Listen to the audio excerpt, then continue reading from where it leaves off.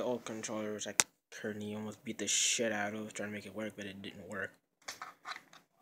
So this is my brand new one. See, see that battery pack still has juice in it. Shit.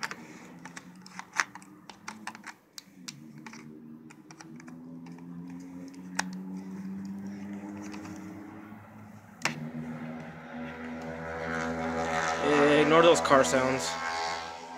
Living right next to a damn street. Yep. Now it fully works.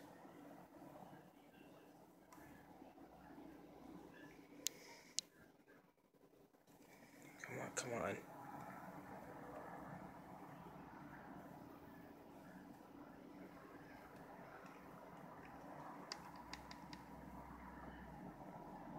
But this is a used one, which is slightly cheaper than a brand new one.